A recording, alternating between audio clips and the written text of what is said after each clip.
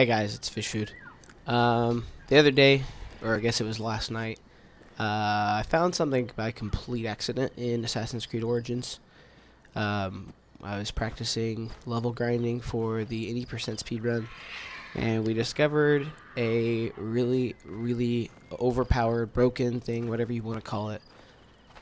Uh, the original strat was just you would unlock this door when that guy leaves, you would use Dawn and Dusk, and you would get 100 experience approximately every 10 to 12 seconds. We found a way to make it more experience at about the same time frame, so I'm going to show you how to do it now. Um, first thing you want to do, you want to make sure you've killed the guard, uh, the guards around.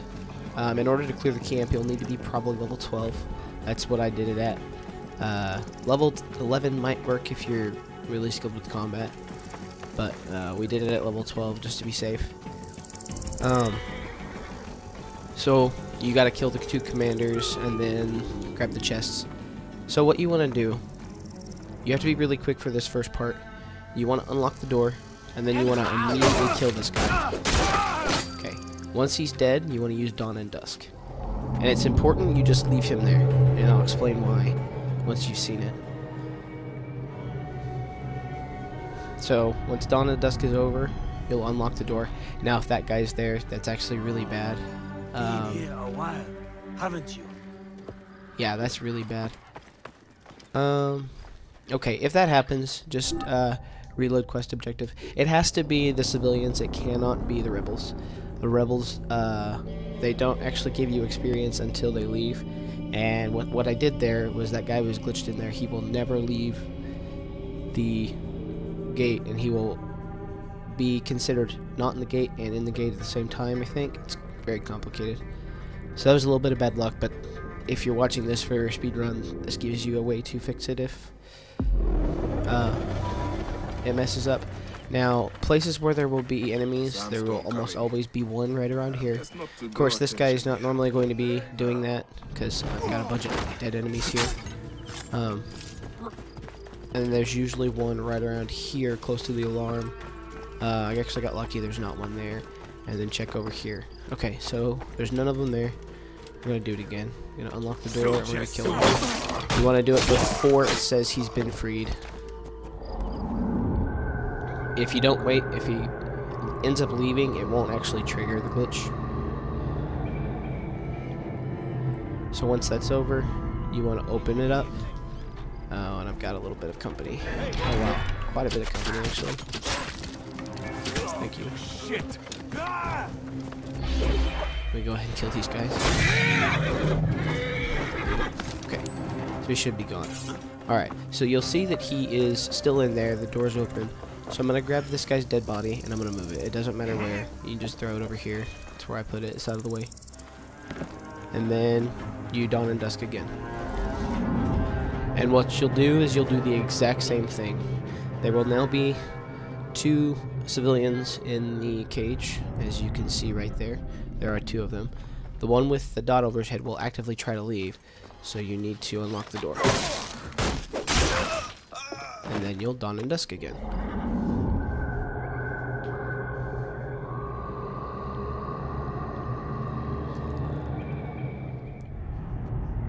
Now when you open the door, the glitch will now work. Um, okay, now that did work. For some reason, that did not work. Let's try it again. If that happens, just pull the body out. And try it again. Uh, what should have happened was it should have immediately uh, given you experience. That's how you know the glitch works. It's good that all this stuff is happening incorrectly because then it shows kind of some backup strats, but... Come on. My console is lagging out. It's great.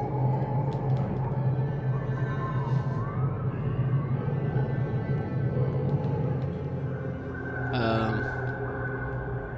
Yeah, just my frame rate dropped like to 2 FPS or something.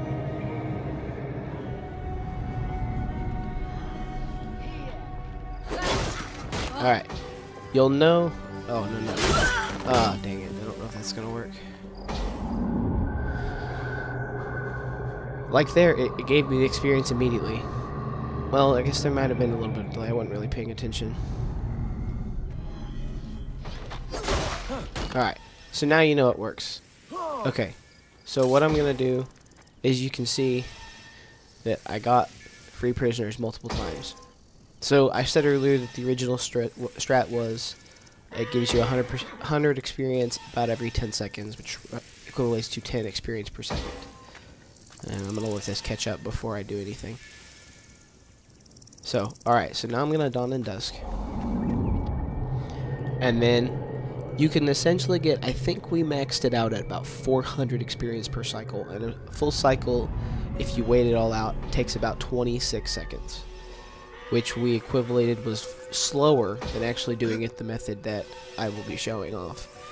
Because as long as the XP is popping up, it will count and it will back up.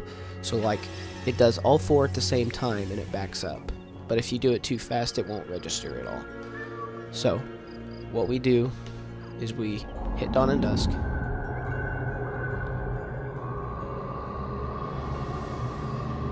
Open the cage as soon as you can. And then as soon as you see the number 100 pop up, dawn and dusk. And if it seems to be delaying every once in a while, try removing that dead body. I noticed that kind of happened a little bit. And see, it only gave me one experience right there. So if I move the body, it should work. Actually, I think I think you actually have to remove the body in order to get it as fast as possible.